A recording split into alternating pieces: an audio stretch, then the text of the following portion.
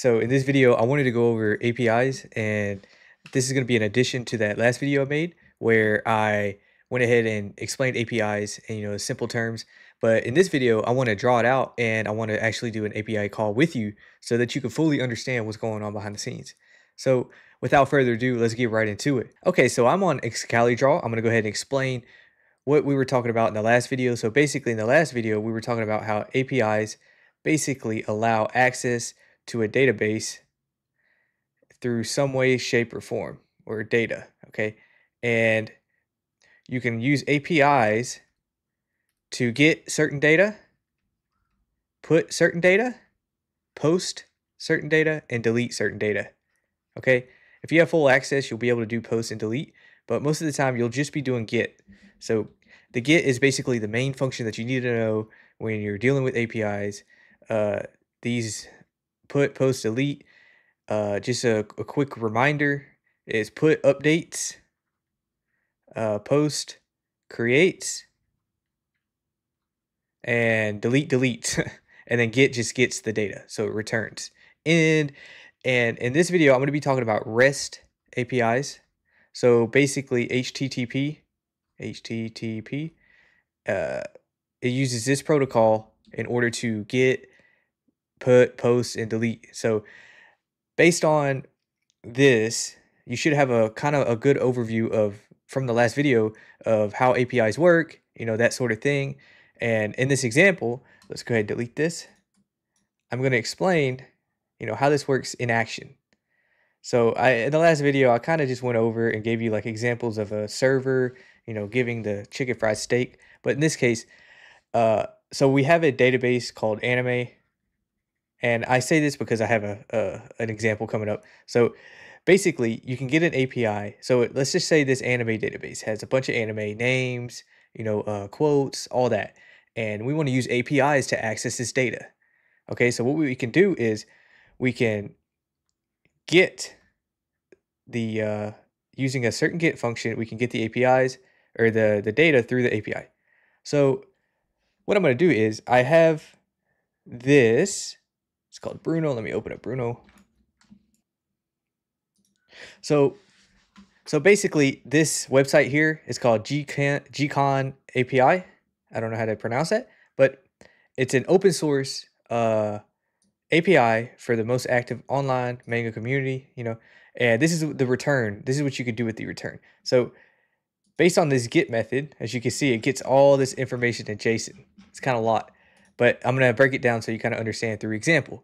So this thing's open source. It uses REST APIs, you know, parsers. There's a bunch of uh, cool stuff with this.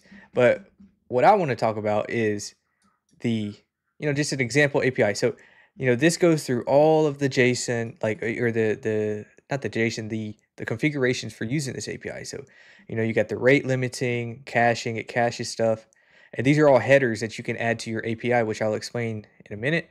You can have the responses, you know, 200 is good, 304 is not required. These is what I was talking about with these HTTP responses. These are uh, super important to kind of understand and get a, uh, you know, kind of an understanding of how they work because you'll be dealing with these a lot. And you'll have JSON error responses. So basically, this is how the error error response is going to look.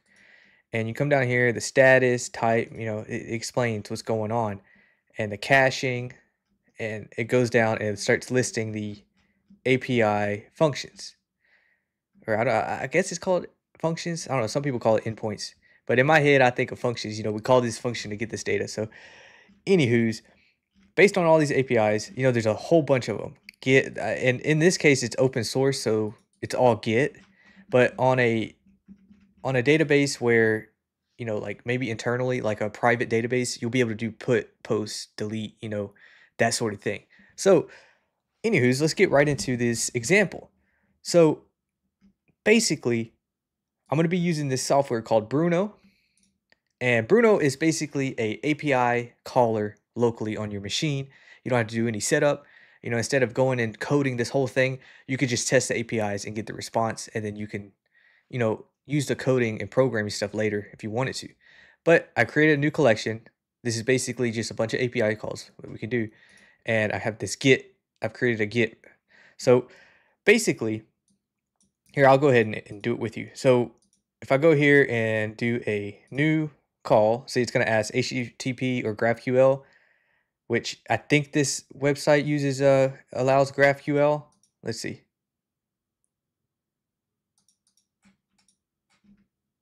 Don't know. But anyways, you can set up GraphQL using this. So basically, this if I'm going to do a response and we're going to do like get random anime. Okay, that'll be the name. That's only for us. And then we need this URL. Okay, this is that URL that I was talking about in the last video. So every API is going to have a URL and you know the, the the endpoint that you can call. So what we do is we can come over here to the documentation and get the random. See it here?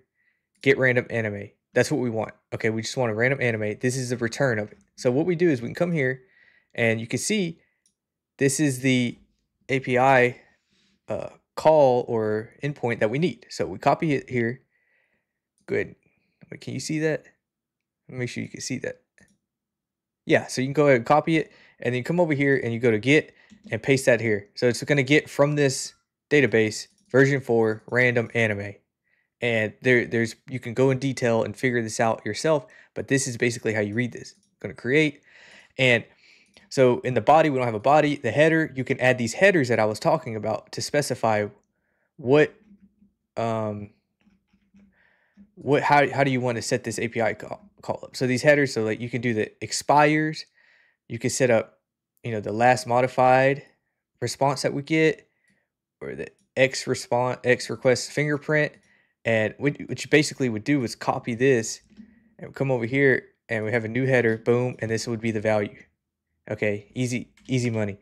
But if you if you're wondering like, okay, well, how do I know what headers are? You can literally just go to search and put uh, REST HTTP headers, and it'll give you. There's usually like a set uh, list of them, like query and stuff like that. But you could do more research on that. I'm, I'm sure every every uh, API is going to have a different type of header. But anyways, let's get right into this uh, API call. So I'm, I'm just going to do a regular call. So we have this, this open source, boom. We run it. So basically what's happening, let me move my camera so you can see. So basically we did this API call, okay? And here is the response. So it gave us a random anime. Which one is this? I don't know. We'll have to go through, but basically you have to read through here and this is a bunch of anime. So if we go to the image URL, what is this? Copy this, go to a new tab and search what this is. So I don't know what type, type of anime this is, but let's do another, let's get another random anime. Boom. Got a new one. Crimson Lotus. I don't know, I've never heard of that anime, but let's search it up. So basically, this is an anime that we got from this this uh API. So we're to do it again. Which which one is this? The rifle rifle is beautiful. There's even an embedded URL. Let's see what this is. I'm curious. I haven't done too much uh, uh research into some of this stuff, but let's see.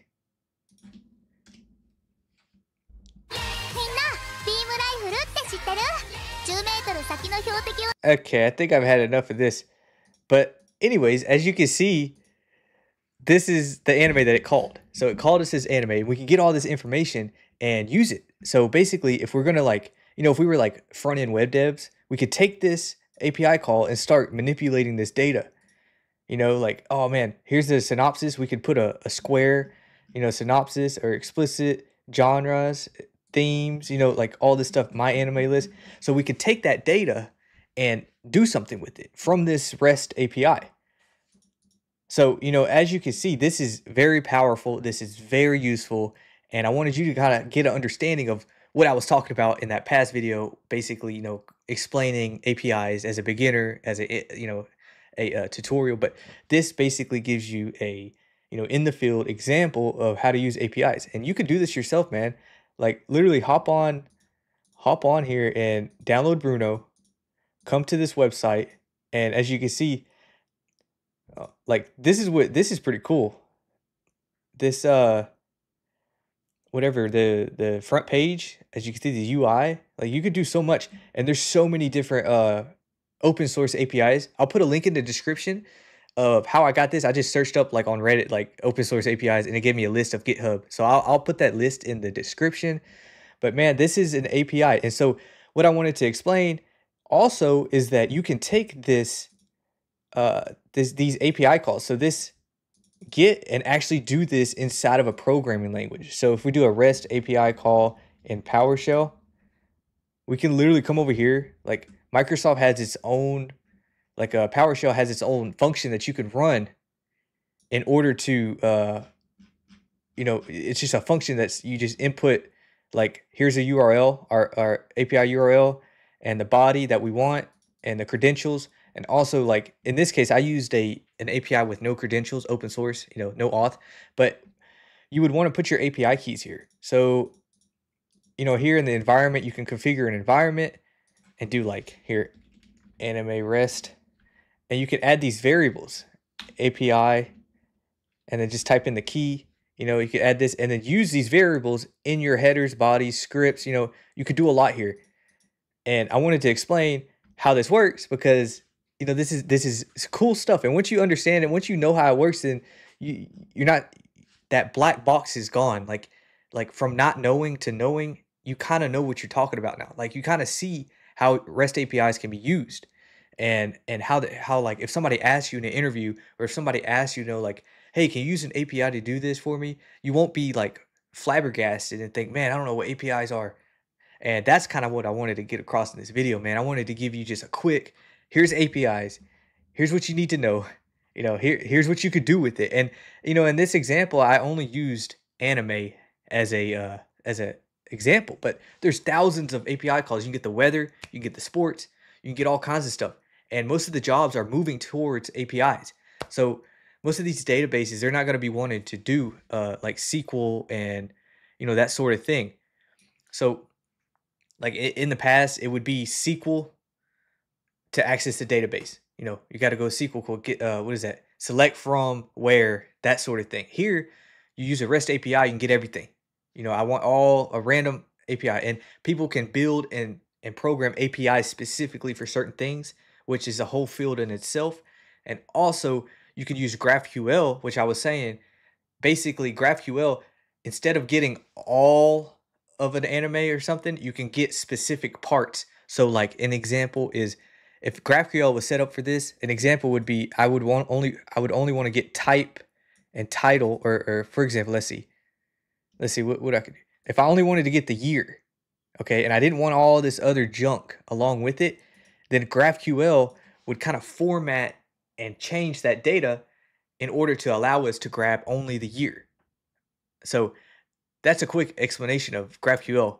But man, hey, I hope you enjoyed this video. Uh, like, comment, subscribe if you want to see more in-depth examples like this. You know, I'm, I'm starting to get better with this, uh, this, you know, this video creations. And don't forget to check out my website. I'm creating a course on how to start and you know anything career related. I got that that handbook going down. It's called Career Mastery Handbook. I got it down link down.